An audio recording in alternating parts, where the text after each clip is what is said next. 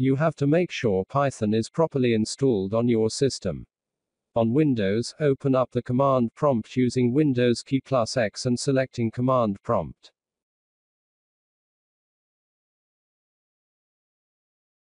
Then type Python version.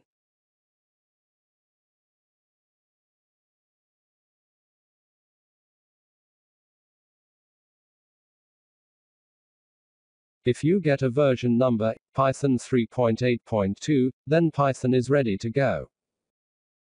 If you get a Python is not defined message, then you'll have to first install Python properly.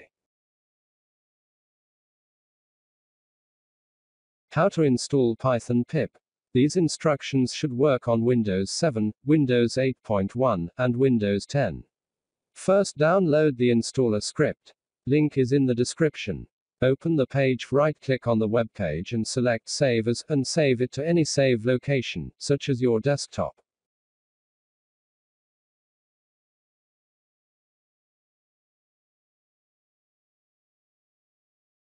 Open the command prompt and navigate to the downloaded file.